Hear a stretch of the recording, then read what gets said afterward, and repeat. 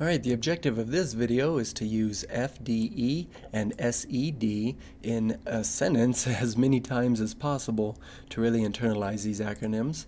You see a lot of CompTIA tests are so much about acronym knowledge. This actually comes from the Objective 3.3, but if you found yourself on this video just because you want to learn about full disk encryption or self-encrypting devices, then I hope you like this question and answer approach. Alright, so our resource comes from a website called winmagic.com. The headline up here, though, reads Secure Speak WinMagic Data Security Blog. Data security is of particular interest to me.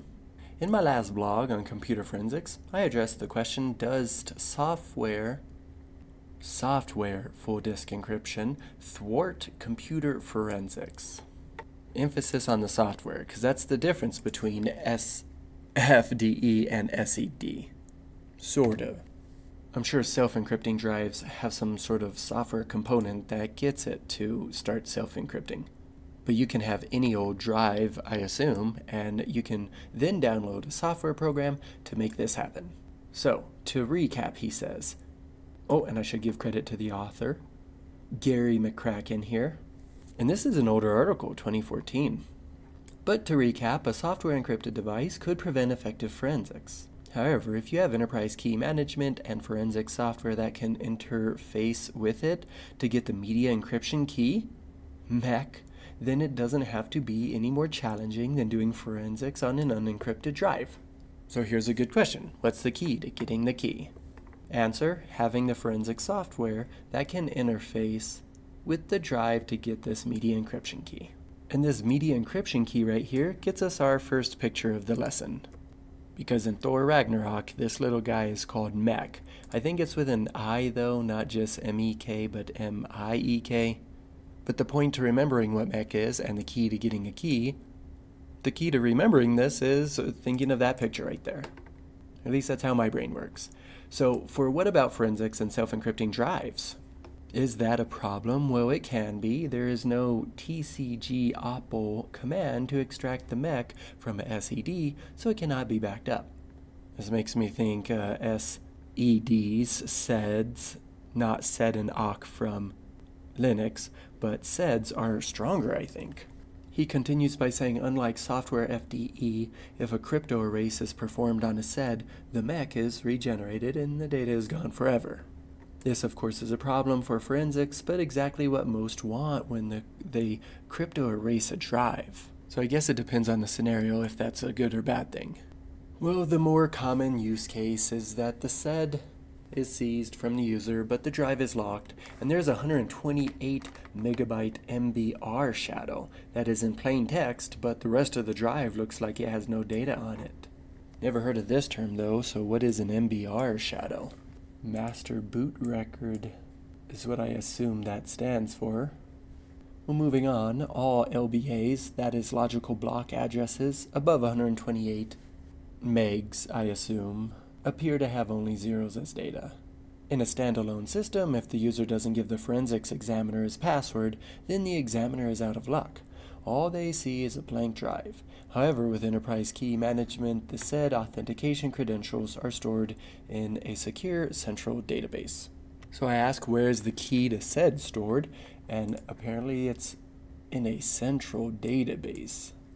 Which makes me think that's not as secure as the person wants who is purchasing whatever SED they're purchasing. Well, with proper well, with proper authorization, the forensic examiner can retrieve the credentials and unlock the drive. The reason why, that should be why, I refer to a key management system which takes care of their credentials is because the SED credentials can be 256 bit random numbers and have the same strength as an AES 256 bit key, so that's pretty strong. Now he says all this is good in theory, but SEDS are relatively new compared to software FDE and forensic software has not had knowledge of SEDS built into it.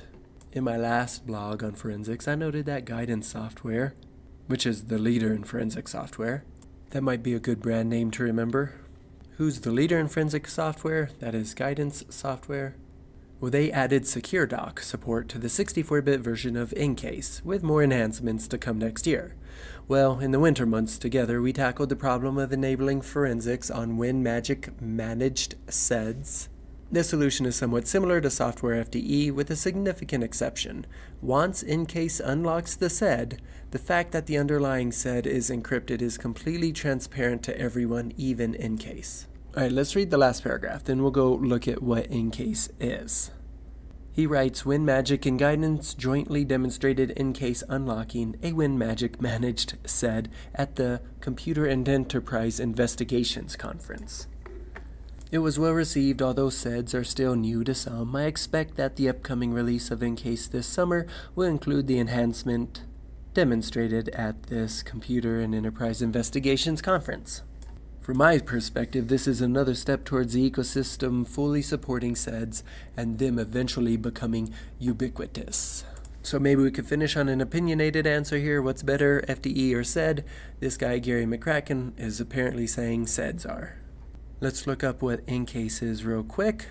Going to the guidancesoftware.com website, but let's click this Y. Alright, that was just a commercial for guidance software in general. Alright, here we go. The Wikipedia page should give us what we need, which is just the basics. So it's basically a suite of digital investigation products. So it's multiple software products. Alright, well that's it. Walking into the test now, you should probably understand these two acronyms a bit better.